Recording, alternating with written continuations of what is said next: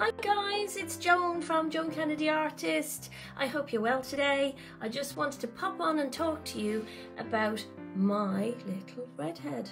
Um, this is a painting that I've absolutely loved doing um, because I love foxes and uh, it's been hugely popular because obviously there's a lot of people out there who also love foxes. Before i explain to you where the name came from would you mind giving us a few hearts a few thumbs up and maybe even share it?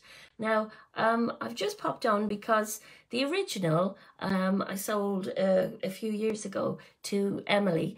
And um, i was just chatting to her on facebook and i said to her um, you know, is it still going strong? And and so she very kindly sent me a photograph, which I will put in uh, the the actual original photo in the um the bottom uh, when we're finished.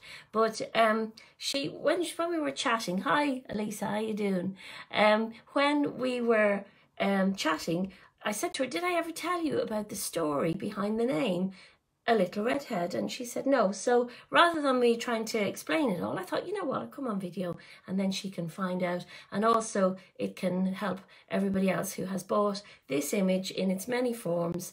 Um, i sell it as a cushion um, and i sell it as a really high quality print which obviously this one is. This is what's called a giclée print which uh, it won't fade. It'll last you well over 100 years. It's done in heritage water paper um, watercolour paper, I should say. So, how does the name A Little Redhead came about?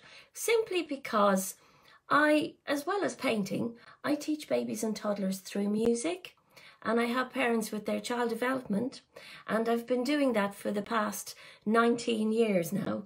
Um, helping children and they've all lots of them have obviously grown up because music I'm passionate just as much about music and how it helps helps us as I am about painting. And there is one mum who has bought one art collector now who's bought many of my paintings and many of my pieces of work um, in the past. Her name is Jane. And she has a little boy who's called Jack. And when she came around to collect some art from me before. She um he, he came along as well because I hadn't seen him in, in years. You know, he'd come to me when he was only about one or two years of age, and I didn't see him till he was probably about six or seven at least. So um it was just fabulous just to see him. But anyway, he very quietly said to me, I love foxes. Absolutely love foxes. And I'd love if you painted a fox. So that's how it came about. That's how I started my journey on painting a fox. The camera is actually, as I'm looking at it, the painting is back to front. So in fact it is, if you see on my, my website, you'll see the, um, the the proper way around. I don't know how, I'm, you know, with, with technology and Facebook, it just, it just makes me go, hi Stephanie, how you doing? Nice to see you on here. So, um, so that's why it's called A Little Redhead.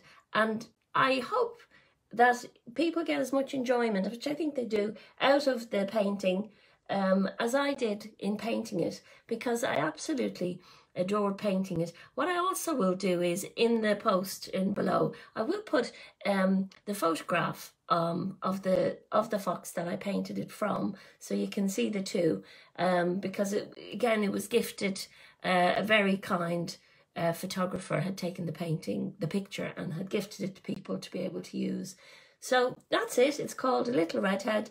Pop over to my website, www.joankennedyartist.co.uk um, and you can you can see it again. I'll put it in the description. So if you know anyone else who loves foxes, this one is definitely a winner for a lot of people.